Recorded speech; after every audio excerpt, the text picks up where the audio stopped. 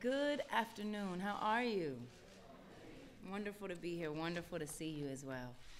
And I really am excited that you're able to screen this incredible film, Mr. and Pete, today, that um, is so dear to me. And, and really, I'm, I'm so passionate about this piece and what it talks about and what it means to all of us.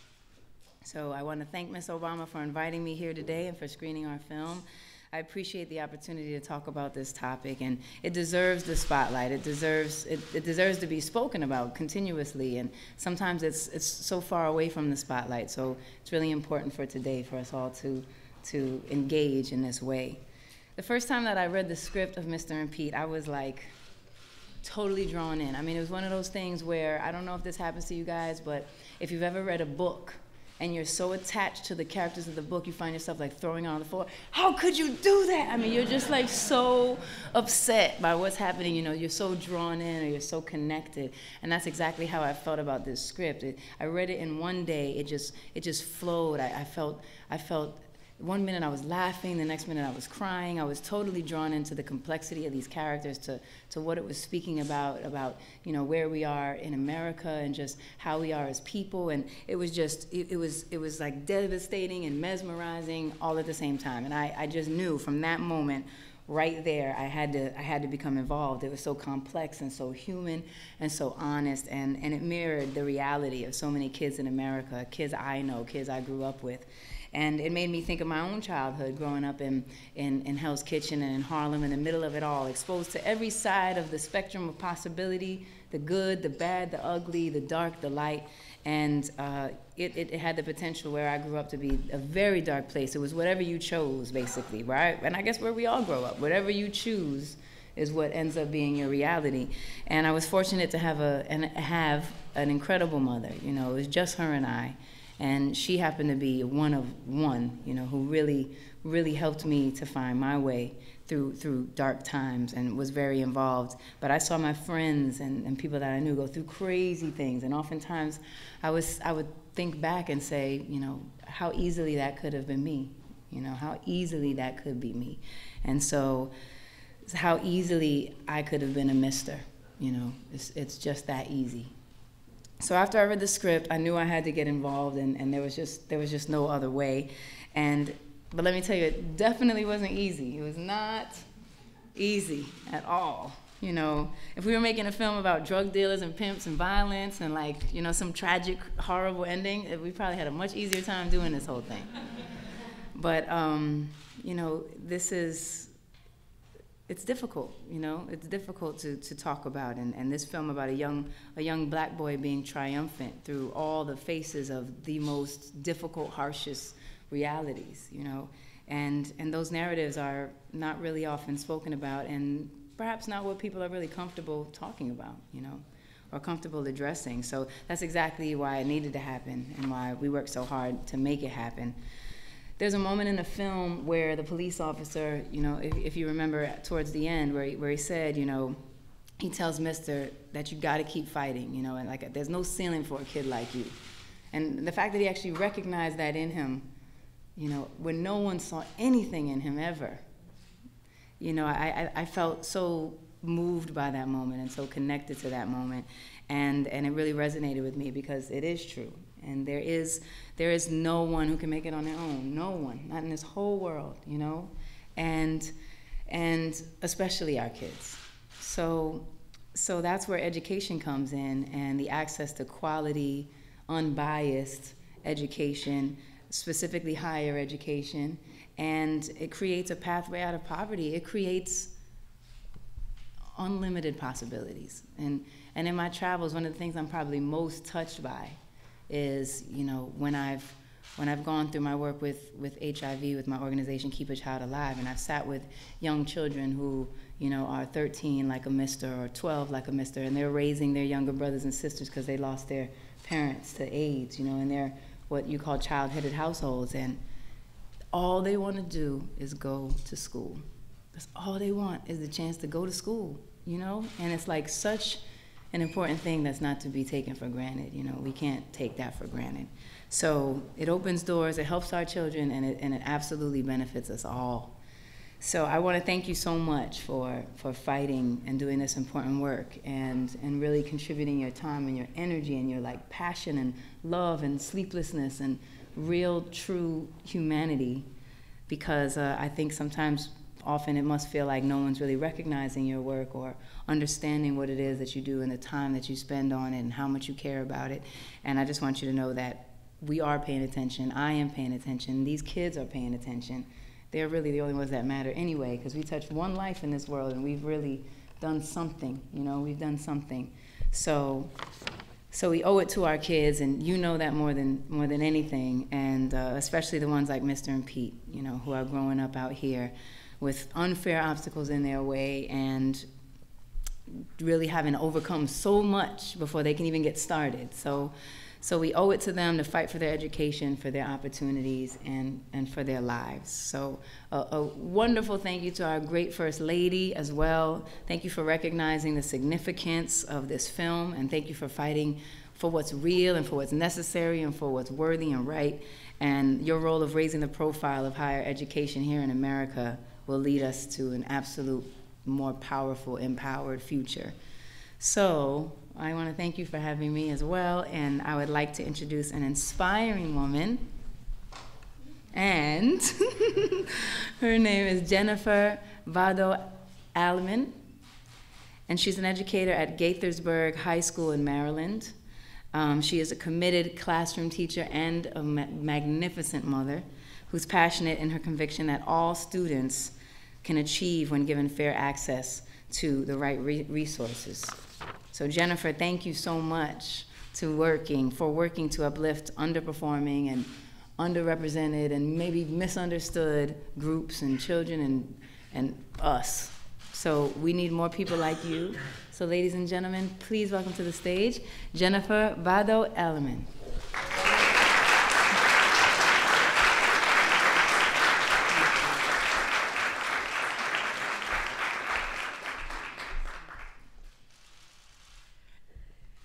Thank you, Alicia. Good afternoon, everyone, and welcome. As Ms. Keys just introduced, I'm Jen Beto Aleman, a high school English teacher, wife, and mother from Gaithersburg, Maryland. And today it is my distinct honor to introduce our First Lady of the United States. We've just had the opportunity to view a poignant film, which we've heard much more about, that puts faces and narratives to the real Misters and Petes who exist in our classrooms and our communities everywhere, including my own and they're all too real stories of academic defeat and unrealized potential. But we will also hear today about the critical work being done on college access and opportunity so that the stories of these students will be about their success because of more available pathways to college. These are the values and beliefs I too hold. As the daughter of Latino immigrants, a teacher in a diverse school, and now a mother myself, I know the power of education. My parents did not go to college. English is their second language, as it is for many of my students. But my family instilled in me the power of education. And had I not been able to access an affordable university option or access financial aid and scholarships, even though I sacrificed and I lived at home and worked throughout college, I would not have been able to attain my undergraduate, undergraduate degree and then later my master's to become a teacher, a profession I love. Now it's this opportunity to access college that I want for my students and my son, for all our students and children. Mrs. Obama personally understands the importance of college access. As she's been sharing with students across the country, she too is the daughter of parents who did not attend college, but who always understood the value of education. She persevered, as we know, to become an accomplished professional. She stands as an example of the power of this determination and the promise of education, and now she champions for that opportunity to be afforded to all. Her story shows us the amazing possibilities when we provide opportunity and access. And her and the President's work on college access and the nation's 2020 goal challenges us to confront whether or not we really believe that someone's starting point in life should never determine his or her endpoint in this country, should never limit his or her potential. And so it is my surreal honor right now and privilege to introduce to you the First Lady of the United States, Mrs. Michelle Obama.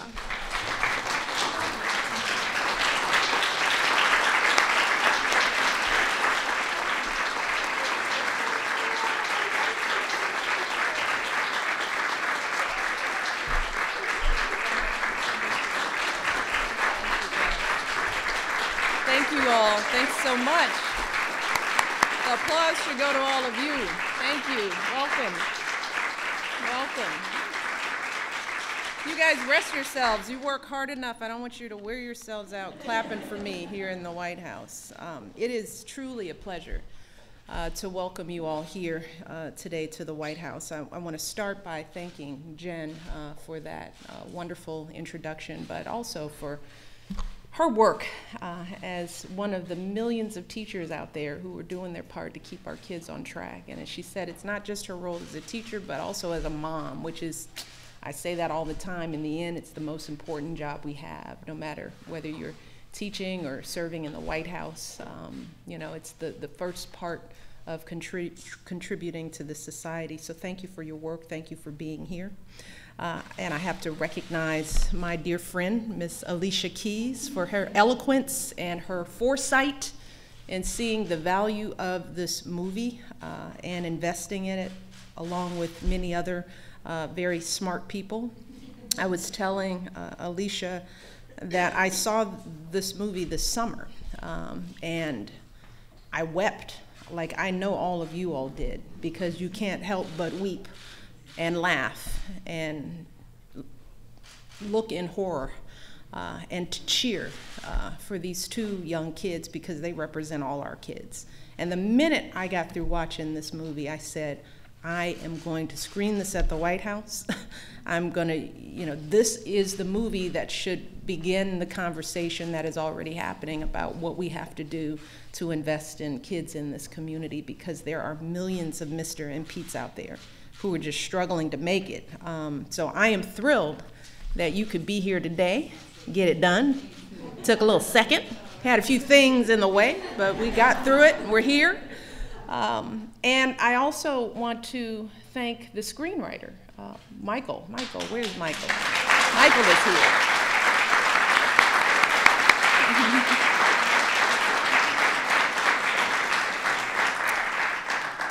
well done.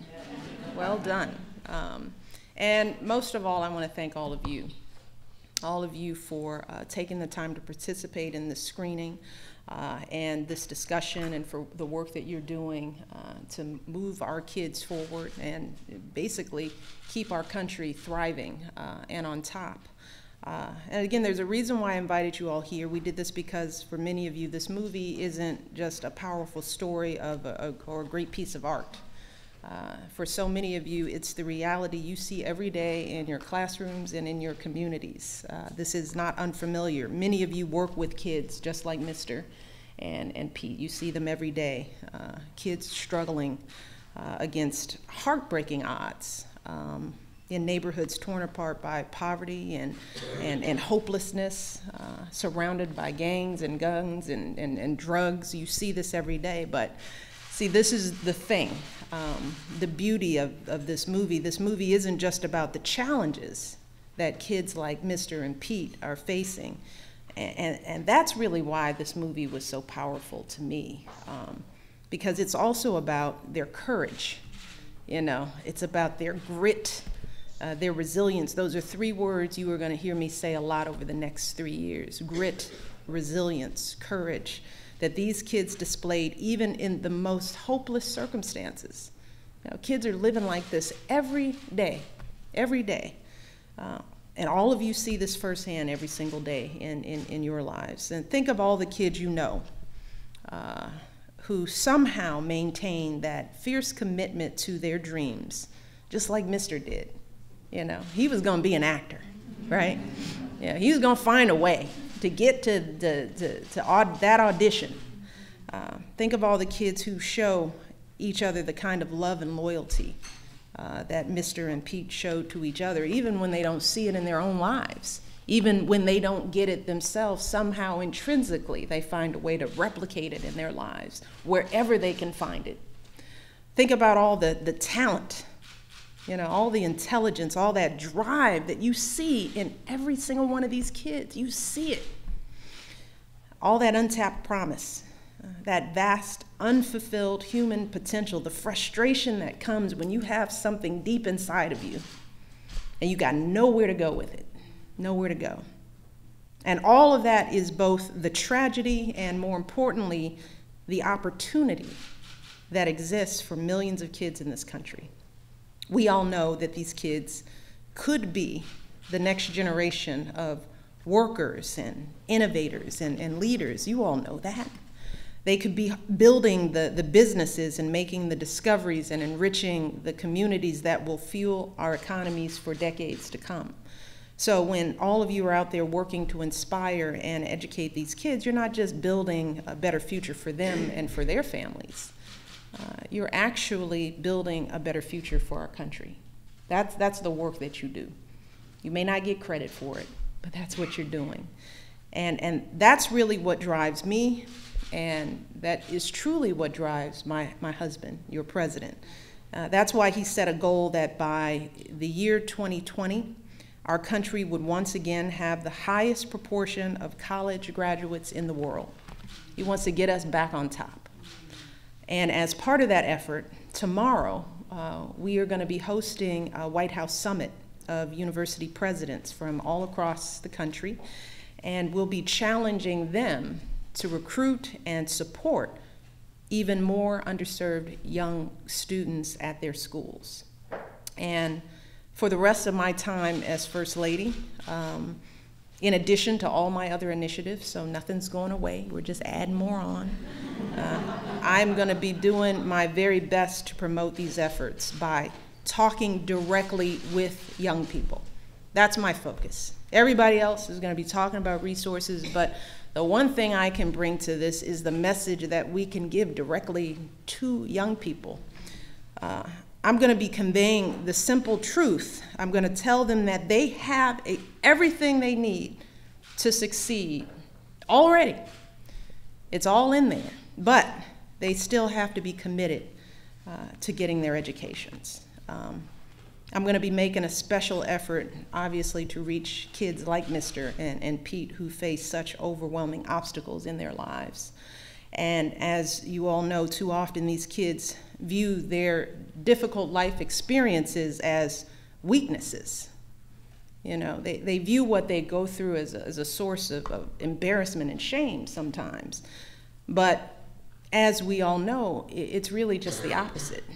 And it's important for them to understand that. I want these young people to understand that their struggles can actually be a source of strength uh, and, and even a source of pride because they've overcome obstacles and learned skills that many of us will never have, you know, that many of us need to actually get the real work done. And I tell my kids, you know, you can't always teach resilience. It's, it's the life you live that, that gets you there. And these kids have lived some lives. So I remind these kids, look, if you if you could go through all that you've already gone through, you know, and just think of what you've already made it through. You've lost people you love to violence and drugs. You have to have a strategy just to get to school safely. You're smart enough to figure out how to stay out of gangs. You've seen your family fighting just to get by, and you still keep moving. You, you, you've adjusted to living in another country and needing to learn another language. Maybe no one in your family speaks that language, yet you're still going to school and you're still making it. So, what I want these kids to understand is that if you can do all of that, then certainly you can fill out a FAFSA form. you know? That is not the intimidating part of life. If, if, if, if you can do that, then surely you can get up in the morning and, and get to class get to school on time and pay attention. That's not the hard part. They've already gotten through the hard part. They can do all that they can do. Surely they can seek out some adults in their lives because there's always one adult. I don't care how bad the school is or how bad the neighborhood, there is always one adult who will move mountains for a kid who wants something. You all are those people. You can seek that adult out, you can get the help you need. I want to give them the confidence to know that what they go through prepares them for all that they need to do in, in the future. I remind them, though, that all of that is their responsibility, though. In the end, that's up to them. But it is our responsibility to make sure that they have those caring adults in their lives. It's our responsibility to make sure they have schools that will teach them. It's our responsibility to make sure they have programs that support them and universities that will seek them out and give them a chance and then prepare them and help them finish their degrees once they get in. And I go to the scene that, that you talked about, Alicia, in the movie, because that is the scene that just did me in. I still can't think about that scene without breaking down. But when the police officer, after all that Mr. went through, this boy just just broke down. And he says, uh, keep fighting, because there ain't no ceiling for a kid like you. There's no ceiling. But Mr. says, I can't do it alone. And as Alicia says, no one can do it alone. And we have to show these kids that they're not doing this alone. That's what we're here for. So I want to thank you all for being, you know, that, that hand that is there for these kids and to keep finding ways to do this because you've got an ally in the White House. You've got a president who believes in this, who's going to work. You've got Secretary of Education who believes in this. You have a First Lady who's going to do whatever I can uh, to support you and, and these kids. So we have to keep working together. We have to keep fighting because these kids are worth it. They are worth it. So with that, I thank you. I'm going to leave and let you guys finish your discussion, right? Uh, I'm going to introduce Roberto and, and Catherine, who are education policy leaders for this administration, uh, and they're going to come up today and, and continue the, the conversation uh, that this film has started, and hopefully it will be a conversation that we'll continue to have throughout the country. How do we continue to help lift these kids up? What do we do to make sure that, that they're not alone? And the first responsibility for young people is to own their education. We all know that. If they're not owning it, then there's very little that we can do. Um, but I'm going to work on that too, right?